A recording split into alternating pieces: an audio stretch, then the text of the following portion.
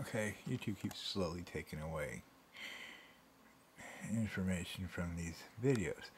Now, what's next here? Okay, does anybody notice that in your subscriptions or in your, you know, most act recent activity, usually you would have a video and it would say who the video was by. See, it says Traders Beware favorited this video. Okay, but it doesn't say who this video is by. Okay, but that's important because we need to know who these videos are by. You hear that, YouTube? We need to know this information or we're wasting our time. I know you want us to waste our time. That's what you're all about. But why don't you stand up with the people and screw the globalists and and just make it right, make it easy, make the information flow. Like over here, you got it right because now we can see these are by the Alex Jones channel, uh, Telegraph TV, by Patriot Nurse. Okay, we could see those. But over here, there's no buys. It didn't say. Okay. Occupy open video police flashbang tear gas. By who? Who made that video? Okay?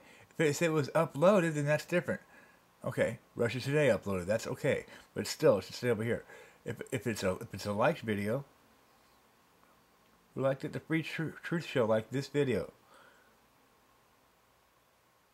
Who made that video? Okay, what the hell? I know this is a couple days ago.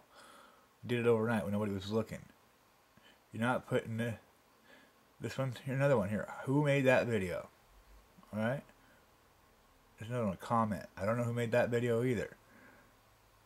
So, get your shit back together and quit fucking with the dang thing because it's pretty damn good the way you had it.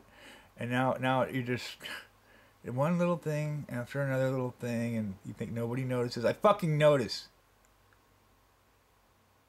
Excuse my French. It's just stupid that you guys got to piddle around with this little bullshit. It's just stupid. You know, they're gonna lose anyway because there's too many people waking up. So you better get on the right side of the history. Okay, later.